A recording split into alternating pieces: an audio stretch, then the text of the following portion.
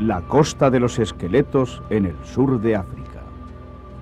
Es un territorio desolado y abandonado, pero los fantasmas aún rondan por sus ciudades desiertas. Había muchos diamantes. Simplemente los recogíamos del suelo. Había mucha gente y casas preciosas.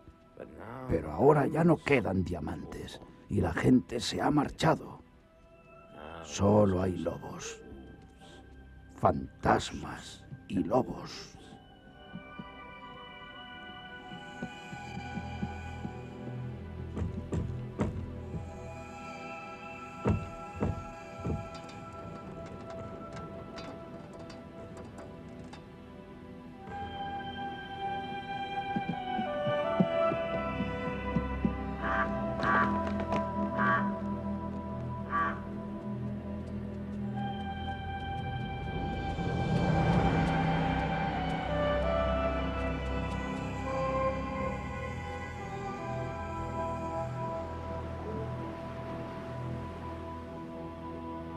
Esta no es una criatura imaginaria, es de carne y hueso.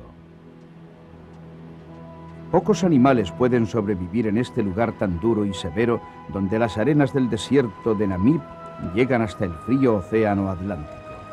Esta es la historia de un animal que sí puede sobrevivir aquí, la hiena parda o el lobo de la playa.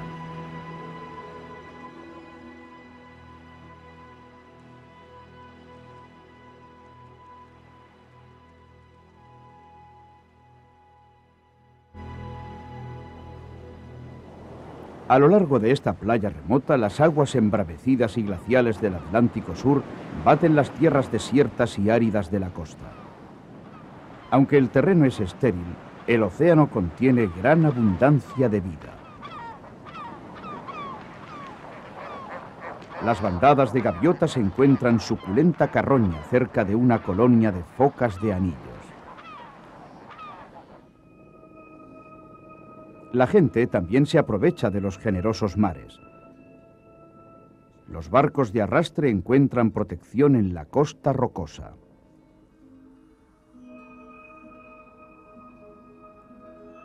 Tierra adentro, la roca abre paso a la arena, y aquí yacen escondidas las ruinas de pueblos mineros, pueblos que antaño fueron prósperos. Tras haber entregado sus diamantes, el desierto recupera lentamente su soledad.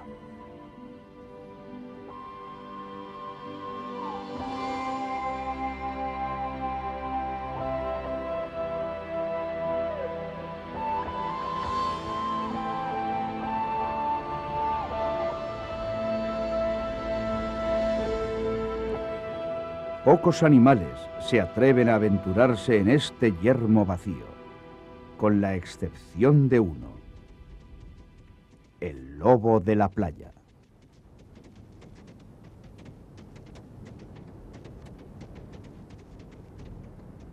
Esta tierra de aspecto lunar es su hogar. Consigue sobrevivir en un lugar donde la mayoría de los animales moriría en cuestión de días. En estas arenas abrasadas por el sol, la poca compañía existente es tan hostil como el mismo territorio.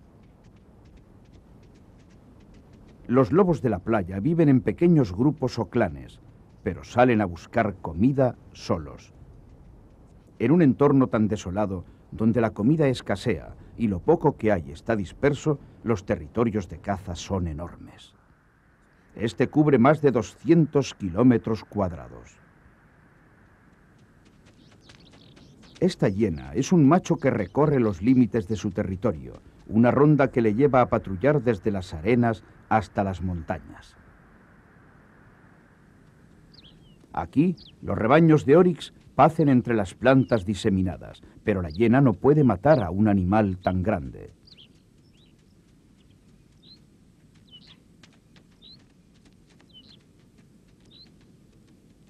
Nuestro macho no está solo. Esta es su hembra y sus tres cachorros se ocultan en una madriguera entre las rocas.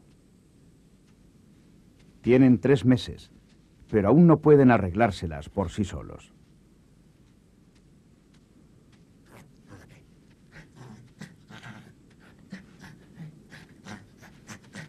Durante algún tiempo todavía se alimentarán de la leche de su madre y de la comida sólida que ella les trae a la madriguera.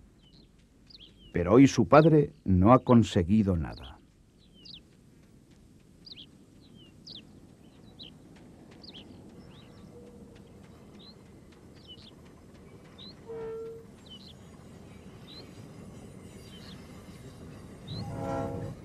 Aunque el interior lleva mucho tiempo deshabitado, sigue existiendo un pueblo aislado en la costa, una localidad que sobrevive gracias a un próspero negocio pesquero. El tren se dirige hacia la ciudad portuaria de Luderlitz, un punto clave en el territorio de la Llena, un lugar donde puede encontrar valiosa comida entre la carroña.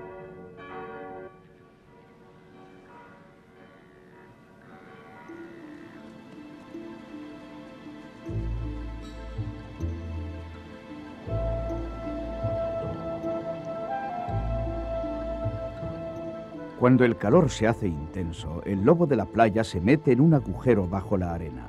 No saldrá en busca de comida hasta el frescor de la tarde.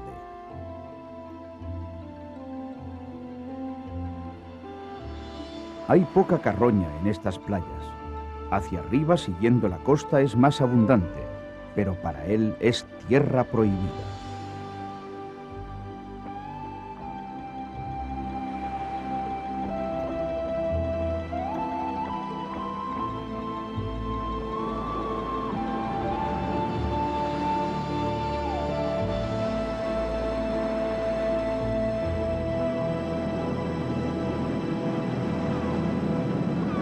Una colonia de focas.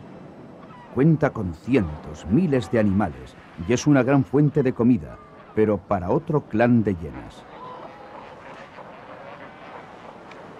Es diciembre, el mes en que las hembras dan a luz.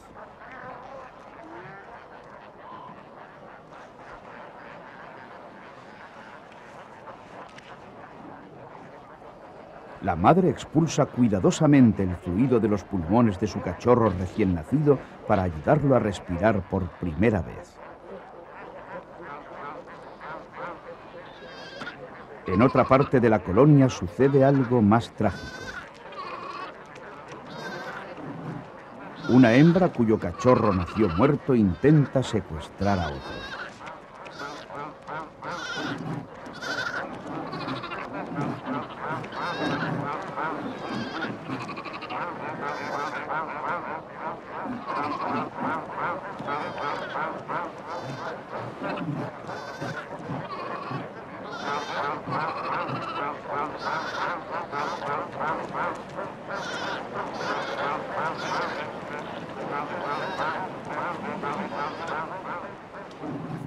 Un macho interviene para poner fin a la lucha. En esta batalla no hay vencedores.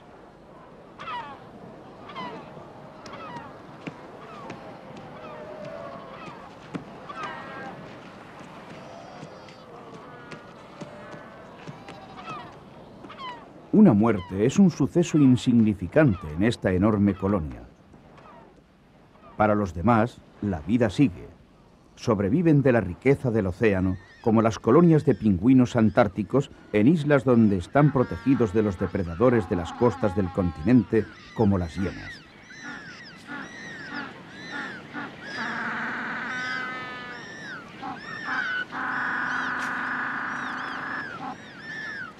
Sus llamadas resuenan en las casas abandonadas ocupadas una vez por mineros de guano.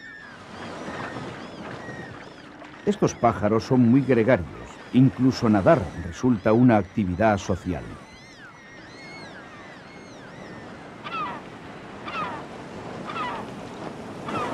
Las gaviotas se alimentan de la vida marina atrapada en las algas afincadas a lo largo de la costa y las bandadas de flamencos filtran comida.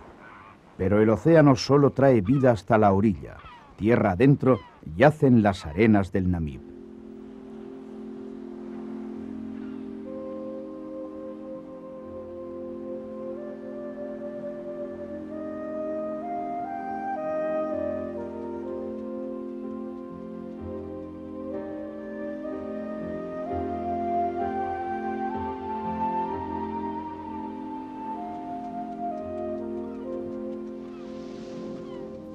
Cuando las sombras se alargan, nuestra hiena abandona su lugar de reposo.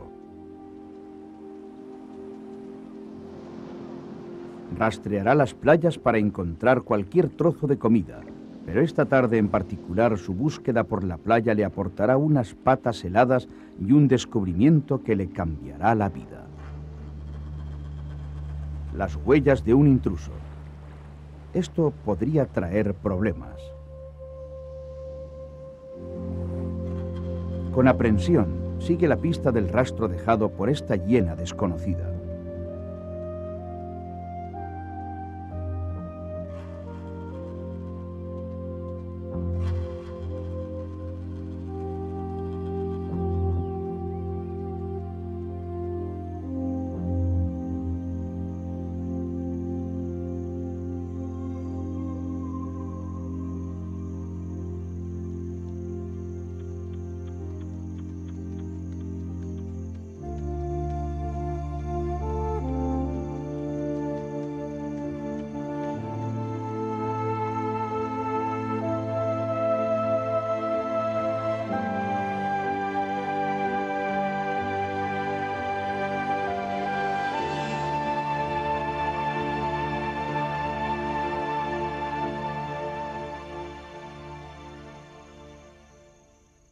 Ahora que hace más fresco, los cachorros han salido de la madriguera.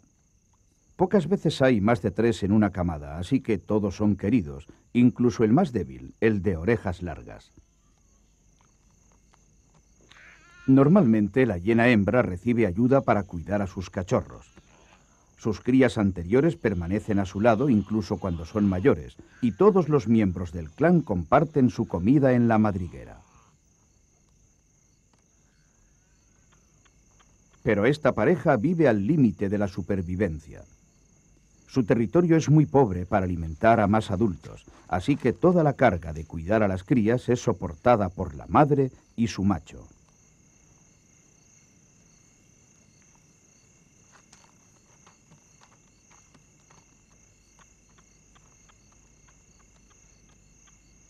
Un cachorro saluda a su padre pero este no permanecerá durante mucho tiempo. Los cachorros no pueden quedarse atrás en su carrera por amamantarse. El macho se acerca a ellos con precaución. Pese a que son hijos suyos, la posesiva hembra desconfía del macho y de sus intentos de jugar con ellos.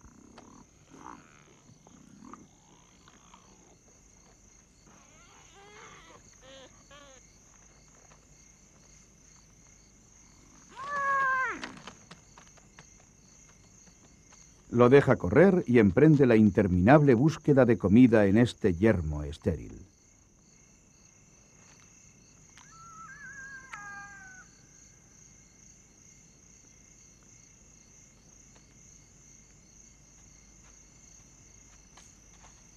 Una vez más, el macho encuentra la huella del intruso refuerza su derecho de posesión sobre el territorio al ocultar el olor del rastro con un líquido que segrega una glándula situada bajo el rabo.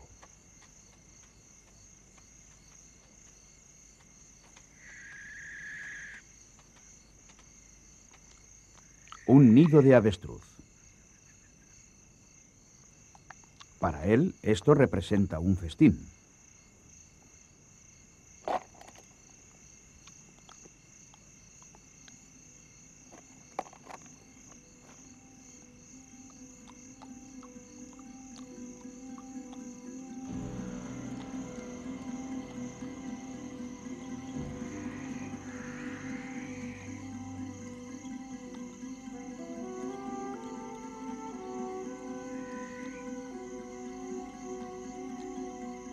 Absorto en la comida, nuestro macho no se percata del avance del intruso.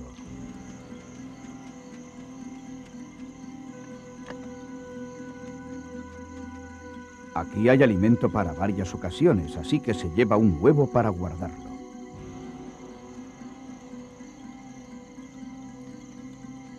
El intruso ve su oportunidad.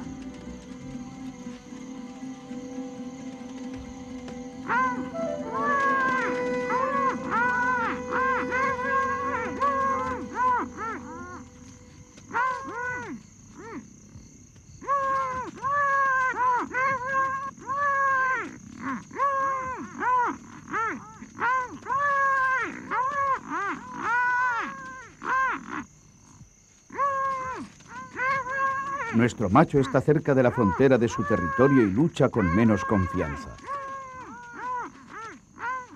El intruso tiene más fuerza y el macho se ve obligado a huir.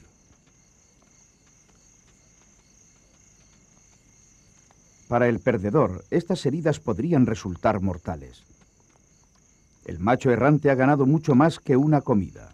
Ha demostrado su superioridad. Nuestro macho tendrá que ir con cuidado de ahora en adelante.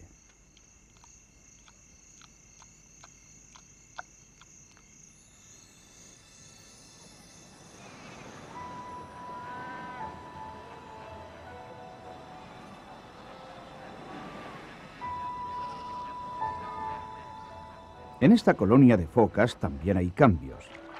Los cachorros crecen y ahora aprenden a nadar. Esta es la lección más importante de su vida.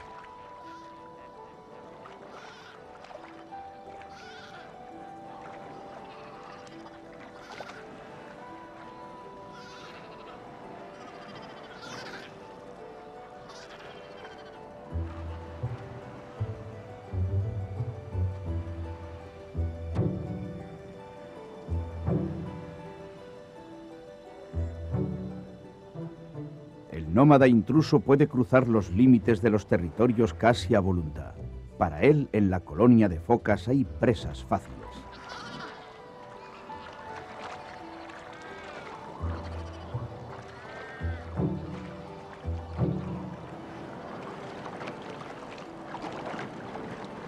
Solo los cachorros correrían peligro, pero la hiena no puede atacar a las focas adultas.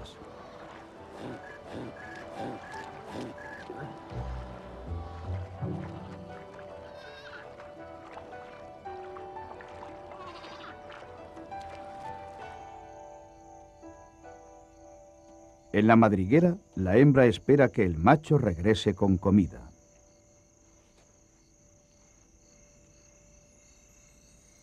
Tras su combate, las visitas del macho son cada vez menos frecuentes.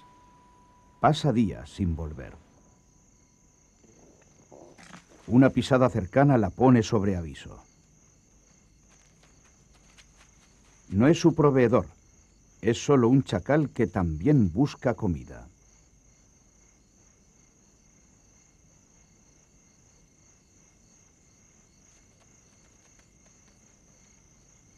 Finalmente, el hambre la obliga a salir en busca de alimento.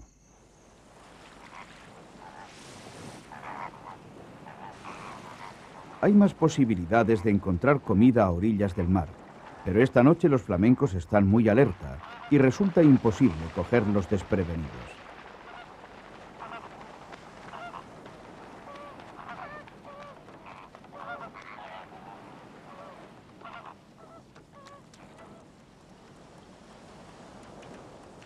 Al otro lado de un faro que guía a los buques, la hembra busca comida en la playa desierta.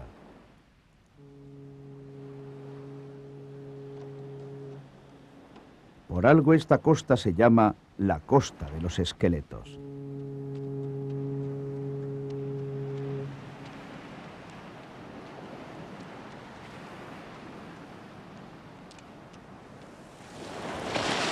Un compañero inesperado se une a ella. Un puercoespín come algas visibles. El lobo de la playa huye de él.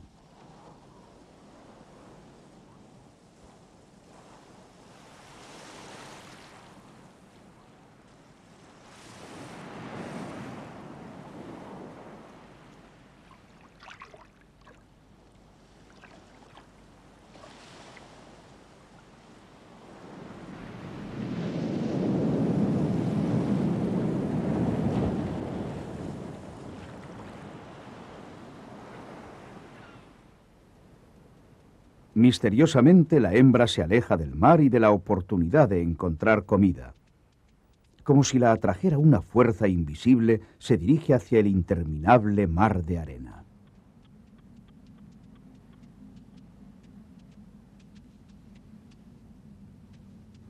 Recorre unos 20 kilómetros.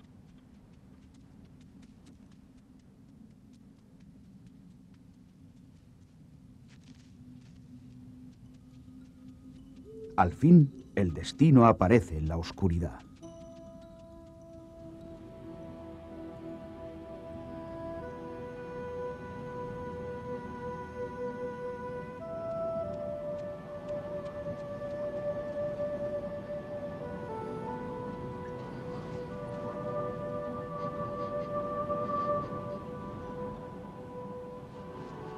Un olor desconocido la pone sobre aviso. El macho errante también ha estado aquí.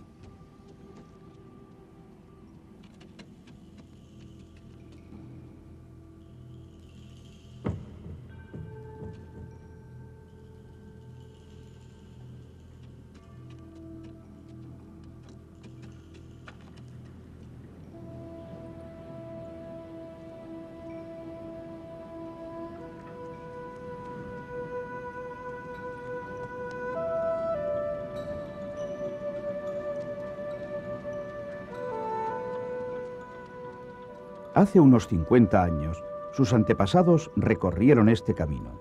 Entonces había comida, pero ahora esta ciudad de fantasmas no alberga promesa alguna. En cualquier caso, la hembra sigue por las rutas tradicionales, unos caminos que quizá aprendió de sus padres.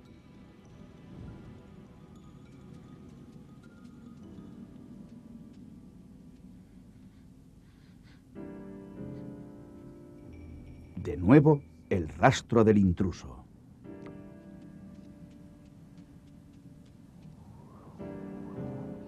En las arenas desérticas ni los vivos ni los muertos encuentran refugio.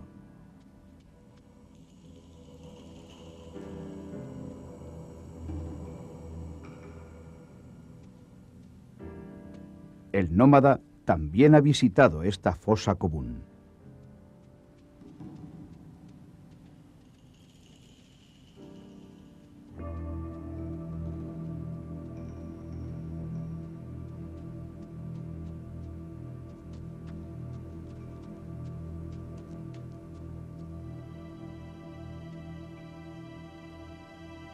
Su nariz percibe otro olor.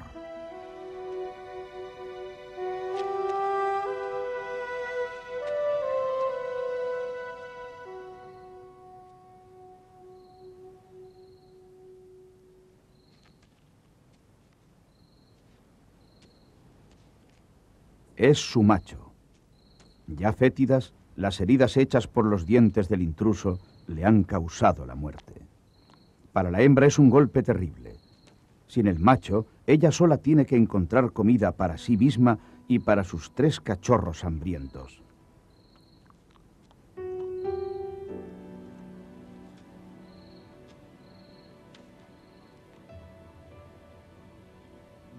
Husmea para reconocer el cuerpo, pero ahora tiene que seguir adelante.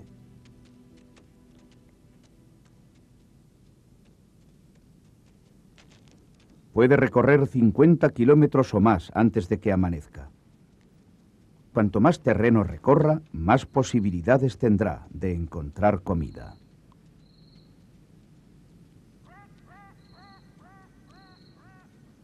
El ruido producido por las riñas de unos chacales le da esperanza.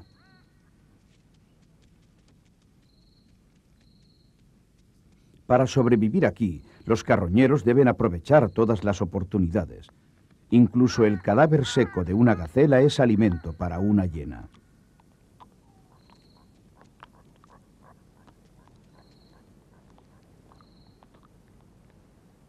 Pero no está sola.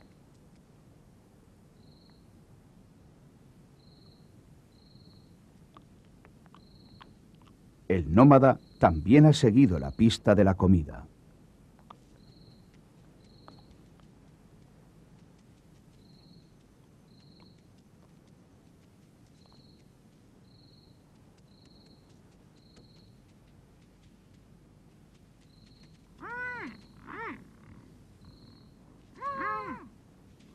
Sumisa se encoge. El intruso abandona el ataque.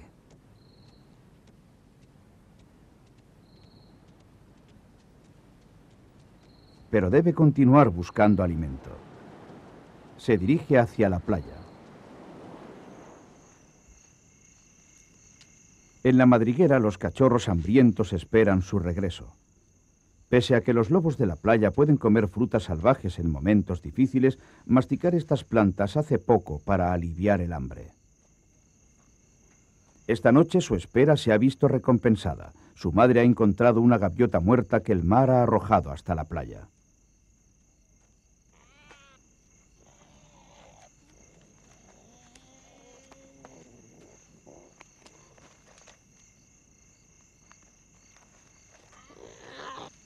La madre también tiene hambre.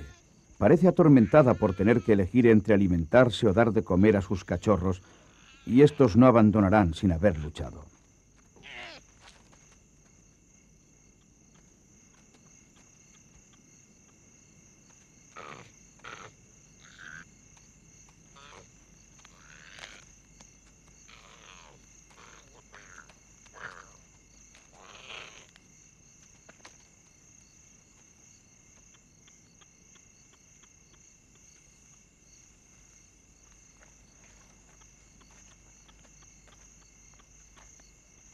Al final, la preocupación maternal y la determinación de los cachorros ganan la batalla.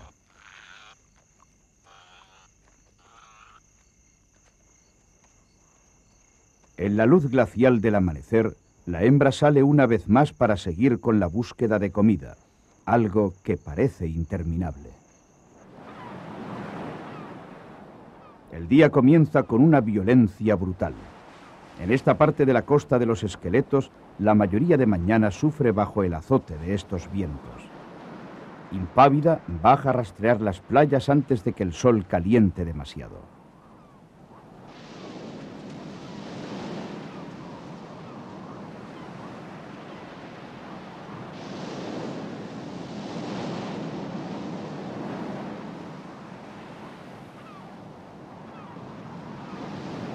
Los continuos y repetidos vientos levantan la arena y golpean su cara. Con el rostro escocido, se ve obligada a abandonar la búsqueda y protegerse.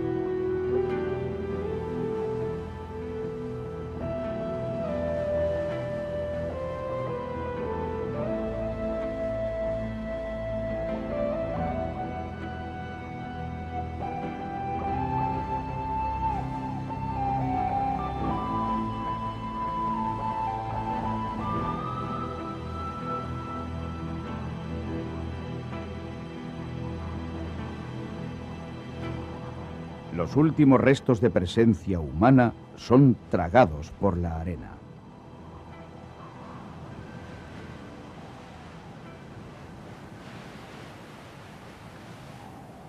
Todos los habitantes del desierto tienen que refugiarse de tal ofensiva.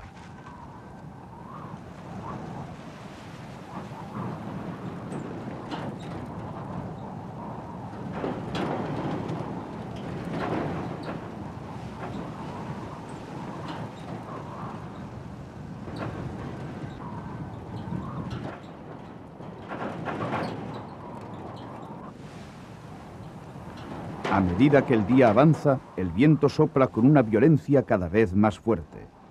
En el fondo de su subterránea madriguera los cachorros de hiena están seguros, pero tienen hambre.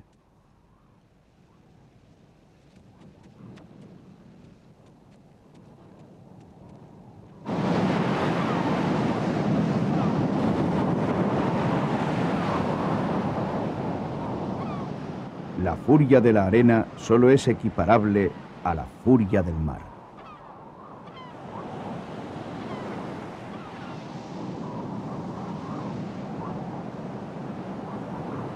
Pero incluso en tormentas como esta, los pingüinos dejan su isla para zambullirse en el agua en busca de peces.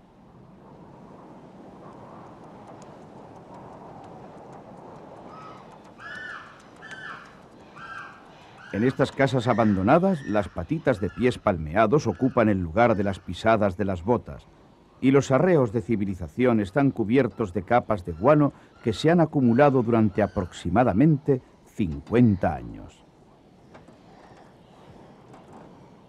La mayoría de estos pájaros construye aquí su nido.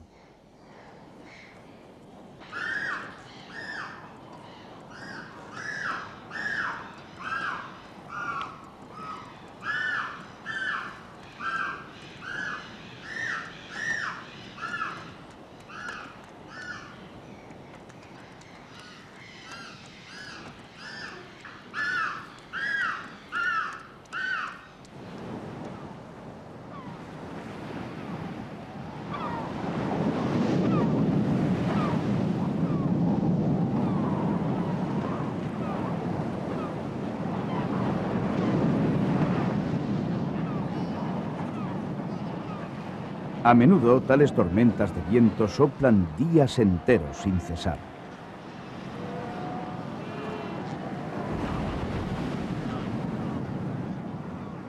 Si las focas salen a comer, no tienen más remedio que desafiar el oleaje de espuma y sumergirse.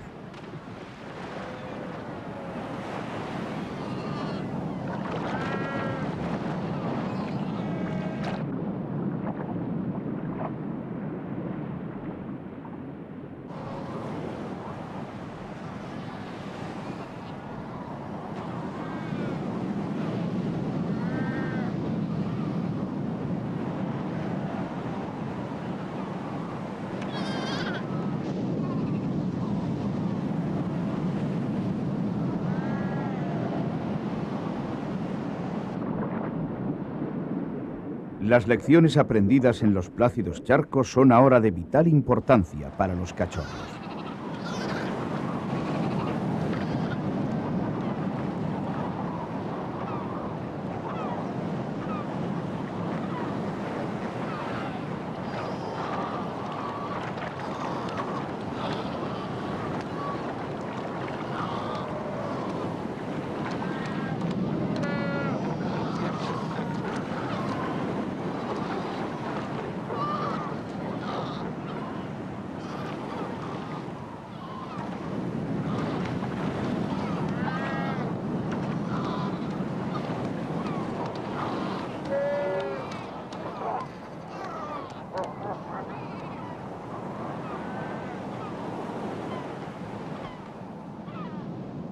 Finalmente, la tormenta amaina, pero los estragos son enormes. Las víctimas de la implacable costa de los esqueletos acaban siendo la comida diaria de los carroñeros. Cientos de cadáveres de crías de focas llenan la playa alrededor de la colonia.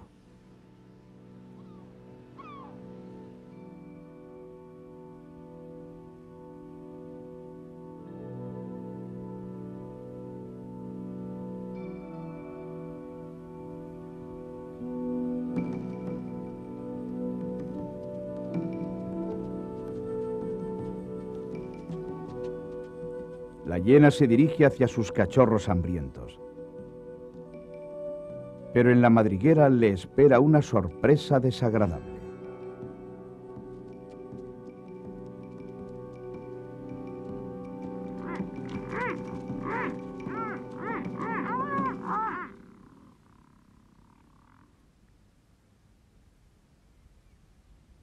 Una vez más, el nómada la intimida hasta que se rinde. ¿Pero por qué está aquí? Puede que intente matar a los cachorros para poder engendrar su propia camada, pero la madre tiene otros planes, tiene que criar a sus cachorros. Se aleja, y la hembra se apresura a volver a la madriguera para comprobar que sus crías están bien.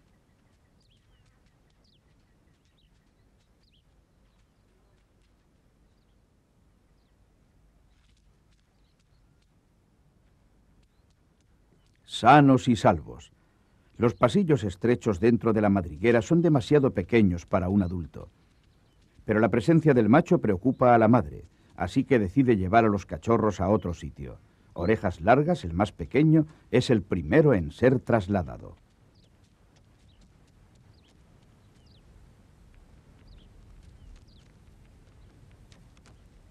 La nueva madriguera está lejos, a unos tres kilómetros.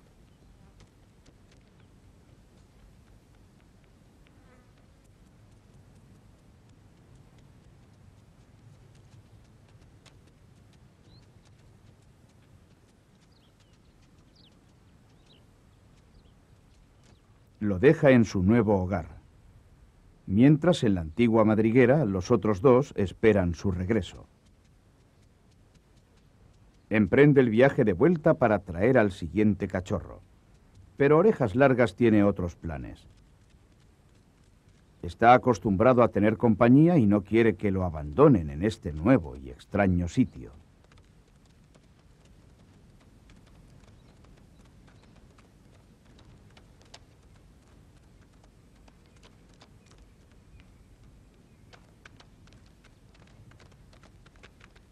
La hembra regresa a la antigua madriguera seguida de cerca por orejas largas.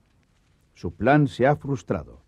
A pesar del riesgo que corren, los cachorros tendrán que quedarse aquí.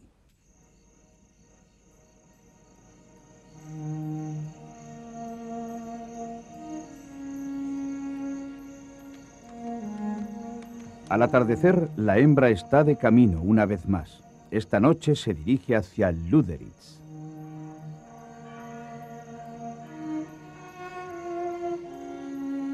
A diferencia de las ciudades fantasmas del interior, Luderitz es un puerto próspero y un lugar con muchas oportunidades para una hiena.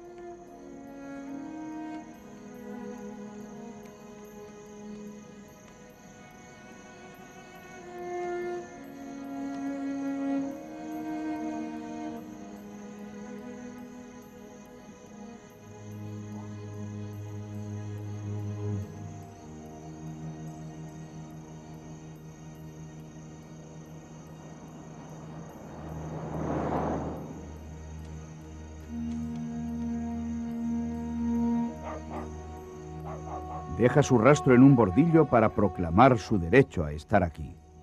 Para ella, esto es solo una parte más de su territorio, aunque tiene recompensas y peligros desconocidos.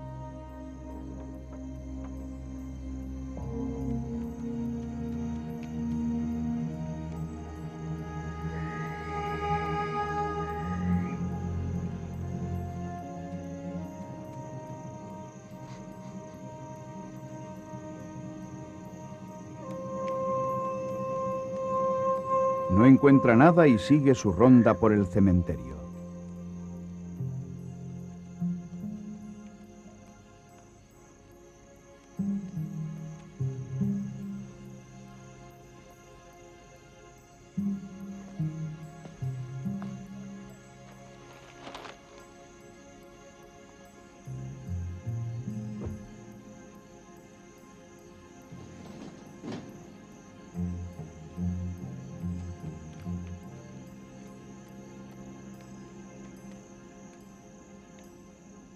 Fin ve la posibilidad de encontrar comida. Para una llena, incluso una bolsa de basura es un festín.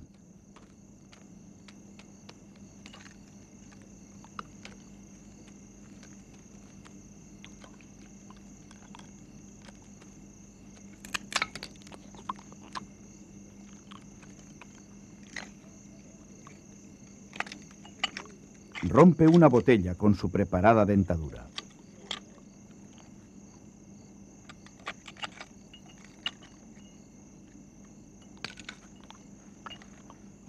Las astillas afiladas de vidrio no tienen efecto en su dura boca. La recompensa es tan solo un poco de zumo dulce.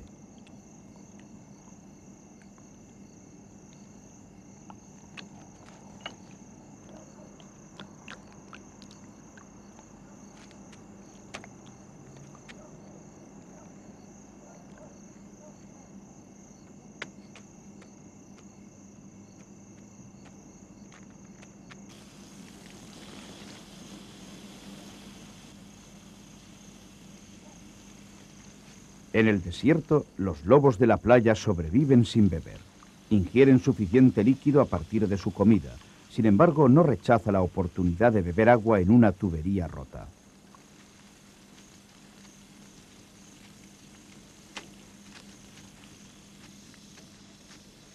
Vuelve hacia su madriguera.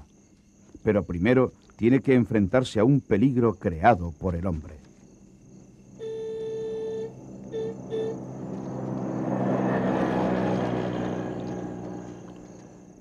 Esta vez ha tenido suerte. Otros no son tan afortunados.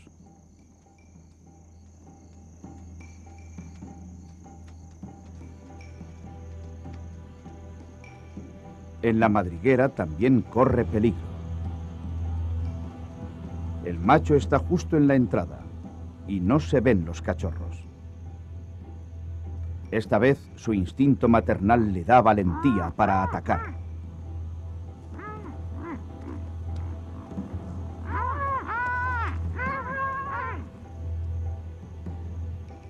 Ahora la situación ha cambiado. Es el macho el que se rinde.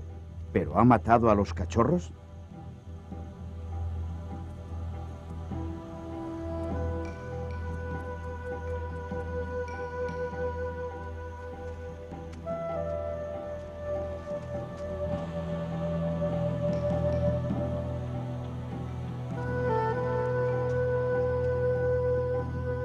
Por lo menos uno está a salvo.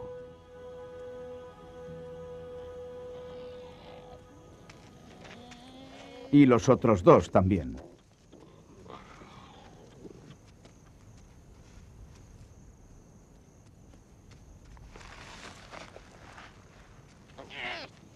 La comida siempre es prioritaria, pero el macho les pone nerviosos. Solo se relajan cuando se aleja.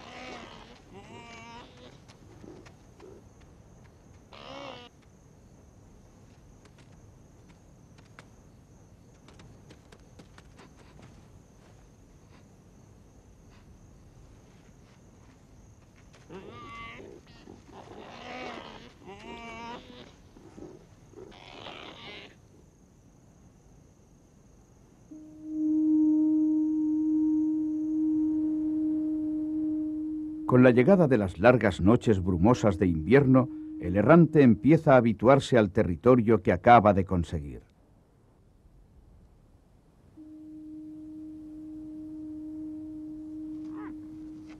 Empieza a ganar la confianza de la hembra y lentamente la hostilidad entre los dos desaparece.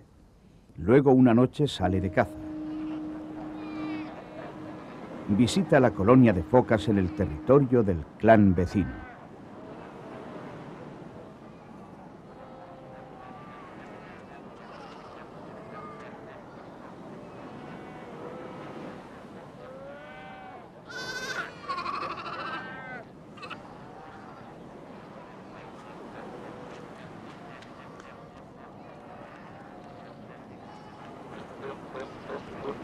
Las focas le han visto las madres se juntan para proteger a sus cachorros.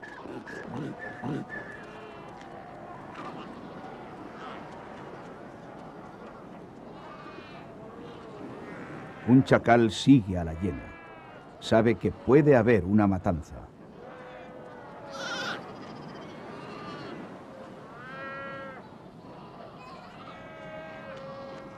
Esta cría está desatendida y es vulnerable.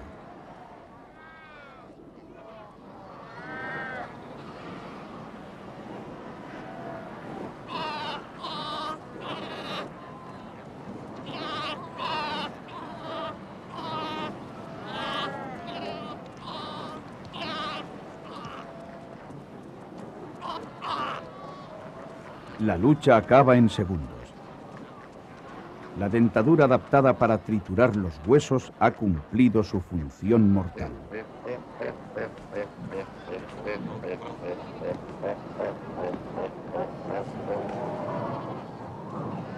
Para el chacal, que no puede matar por sí solo, únicamente quedan los restos.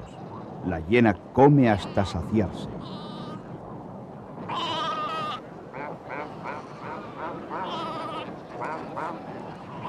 Los llantos de un cachorro apartado por el alboroto atraen a su madre.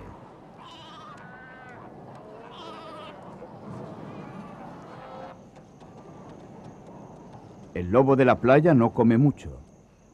Se dirige hacia la madriguera con su carga de 15 kilos.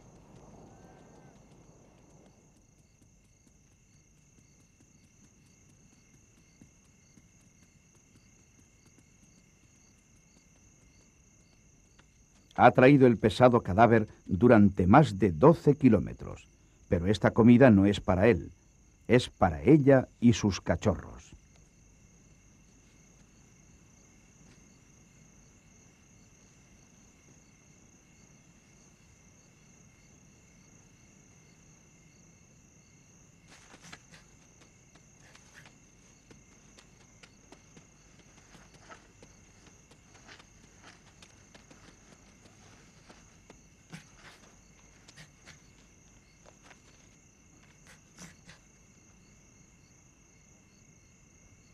Para la madre, lo peor de la lucha ya ha pasado. Tiene una nueva pareja. Con su ayuda, sus crías tienen más y mejores posibilidades de sobrevivir.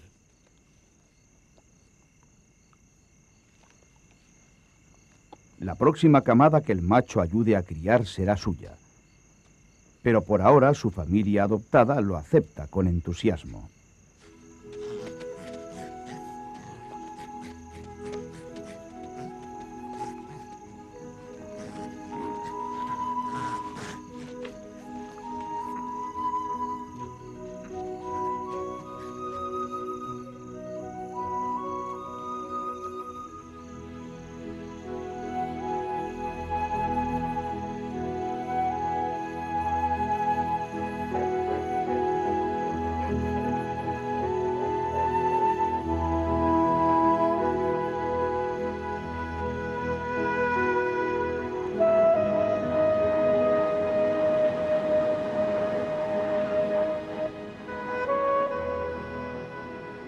En esta costa salvaje la vida es una lucha continua. Pero un lobo de la playa puede encontrar lo que necesita para vivir. Es un verdadero superviviente en la costa de los esqueletos.